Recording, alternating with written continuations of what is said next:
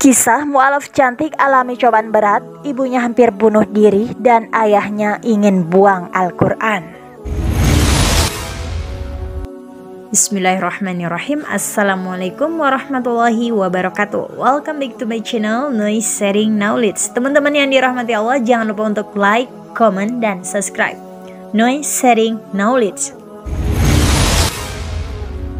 Mualaf cantik asal Amerika Serikat bernama Karen berbagi cerita tentang perjalanan panjangnya hingga menjadi seorang muslim. Ia mengalami banyak cobaan sampai akhirnya mantap memeluk agama Islam. Dia masuk Islam pada 28 Desember 2020. Ada kejadian sebelum dia bersyadat. Dia ingin lebih dekat dengan Tuhan. Ada keyakinan sebelumnya, Karen terlalu tidak taat. Apa yang dipelajarinya seperti masuk telinga kiri, keluar telinga kanan. Jadi dirinya tidak punya kesempatan memahami konsep agama sebelumnya.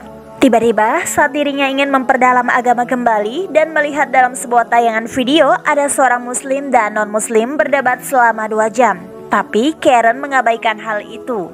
Karena video itu terus muncul, akhirnya saya menyempatkan diri untuk menontonnya. Kemudian saya mempelajari Islam seperti menonton Ali Dakwah dan Muhammad Hijab. Makin banyak menonton video tentang Islam, Karen pun jadi sering berdoa. Ia selalu berdoa meminta petunjuk dan diarahkan ke jalan yang benar. Akhirnya pada 8 bulan kemudian Karen memutuskan membaca dua kalimat syahadat dan pada malam hari dia pun menangis. Ia hanya ingin lebih dekat dengan Allah Subhanahu wa taala tapi tidak tahu caranya. Waktu bangun tidur, saya ketakutan karena tidak tahu caranya sholat dan ibadah lainnya. Tapi walaupun demikian, Karen sangat cepat dalam belajar karena rasa ketakutannya yang telah mendorongnya untuk belajar sholat dan pengetahuan Islam lainnya. Setelah ibunya tahu, kini Karen telah berubah jadi seorang muslim, perdebatan dan bersih tegang terjadi kepadanya sebab orang tuanya tidak setuju Karen masuk Islam. Dan sang ibu pun menjadi depresi karena melihat Karen masuk Islam. Ibunya sempat akan bunuh diri untuk mengakhiri hidupnya. Dia melakukan percobaan bunuh diri.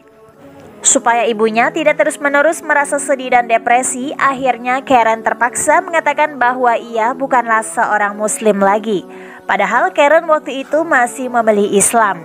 Hingga suatu hari, Karen menceritakan pengalamannya ini kepada ayahnya. Setelah ayahnya tahu bahwa Karen adalah seorang muslim, ia malah mengatakan putrinya terlalu terpengaruh dengan setan.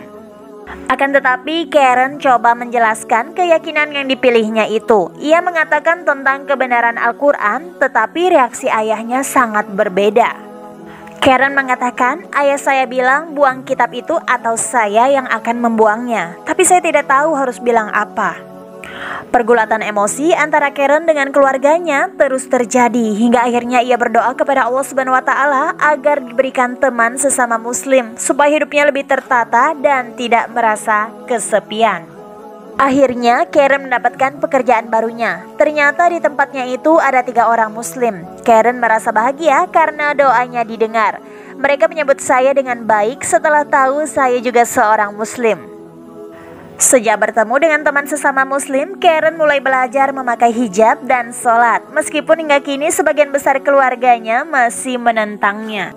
Nah itu tadi tentang kisah mu'alaf cantik. Alami cobaan berat. Ibunya hampir bunuh diri dan ayahnya ingin buang Al-Quran. Mudah-mudahan bermanfaat bagi kita semua dan menambah keimanan kita. Wallahualam besok Wassalamualaikum warahmatullahi wabarakatuh. Like postingan ini jika bermanfaat. Kalau setuju tulis di komen ya. Dan jangan lupa subscribe-nya Serta share ke teman kamu biar pada tahu